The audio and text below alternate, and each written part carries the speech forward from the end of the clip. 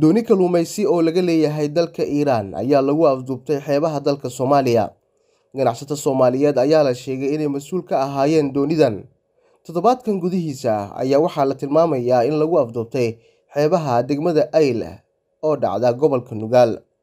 Shaqaale u dhashay Iiraan iyo nin Soomaali ah oo waardiye ka ahaa ayaa la sheegayaa in ay saaran yihiin doonidan. Kooxda afduubatay ayaa doonaysa dhaqaale dhan afar boqol oo kun oo doolarka Mareykanka si ay u sii daayaan doonta iyo shaqaalaha saaran sida warbaahinta uu u sheegay Bashiir Saciid Cusmaan oo ka mid ah wakiilada doonidaasi. Bashiir ayaa sheegay in kooxdani ay ku hanjabtay in doontani ay ku ugaarsanayaan maraakiib kale haddii aan la siinin lacagtaasi ay dalbadeen.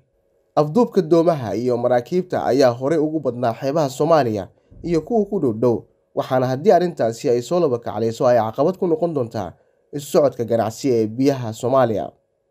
Zakariya Axmed Muuse TV-ga Shabeelle Muqdisho.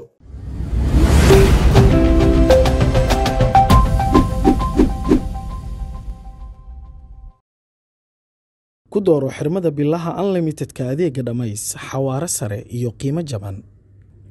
Ku shuba shan iyo toban doolar oo keliya oo hel unlimited data internet iyo ku hadal aan kaa dhammaanayn muddo bil ah uga shuba ii dahab koodh nambarka xidig hal eber hal afar